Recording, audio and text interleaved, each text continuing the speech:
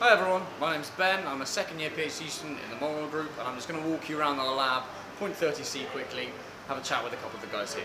So the lab outfits, you know, we've got a pretty well kitted out lab here, a few hoods with various things going on. So this hood does flow equipment, we've got a group computer, oven for drying glassware, coat hooks here, waste station sinks. Along this bench we have UV box, sonicator, a couple of balances, drying kit setup, all that good stuff. Another fume with some more flow kit in it, another more typical fume with purification apparatus set up, other stuff for drying, more waste stations, more washing stations, so on and so forth, another UV box, mass setup, various bits of kit and other samples, so on and so forth. Purification in action, as we can see. Cleaning in action, even better to see.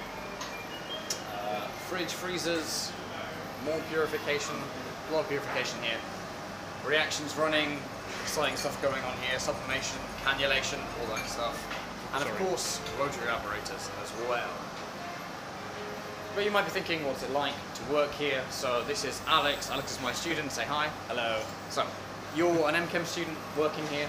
Yeah. You do what? What's, what's your day-to-day life? You enjoy your, your projects? It's fun. Yeah, it's good. Yeah, Yeah? so work in the lab, do reactions, work reactions up, purification. It's all fun. You heard it here first, folks. But here's another PhD student, one of my co-colleagues, Roddy. Roddy's Hello, doing hello. some work on making radio tracers. Yes. Correct in saying that? Yes, yeah, radio, can- radio uh, therapeutic anti-cancer treatment drugs. So looking at trying to put fluorine 18 on stuff and tracking in the body using positron emission tomography. So it's pretty interesting. Yeah. We'll be around. Other chemistry we have going on here is the work of Yerbal, who is working Hello. in metal catalyzed, various other things. Emily's doing purification, cleaning, other stuff. Mike, you're at MChem in the group as well. You, you like what you're doing? Can't talk, that's fine. Andy, you like what you do here, right? Yeah? Good time? Being an undergrad student doing projects?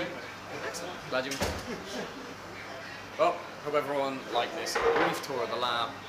Ben, as said before, and I will see you all in Cardiff perhaps.